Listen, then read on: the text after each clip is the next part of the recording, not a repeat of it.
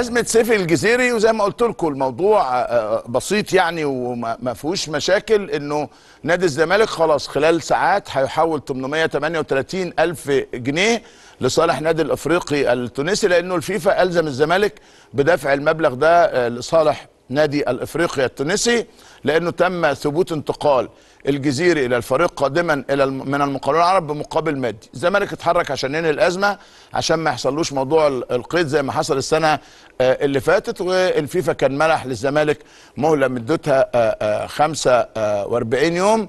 انتهت أول مارس لكنه ما تفهمش سهي على ال- المسؤولين في نادي الزمالك ف آه، آه، قالوا له طيب خلاص القيد اتوقف ثلاث فترات لحد ما تسدد المقابل المادي وبالتالي خلاص الزمالك هيسدد وتنتهي الأزمة كما كان متوقعا.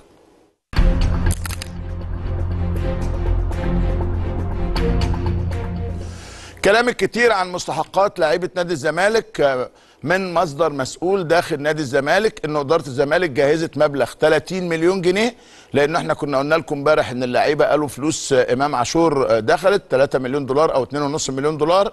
اللي هم حوالي 70 80 مليون جنيه.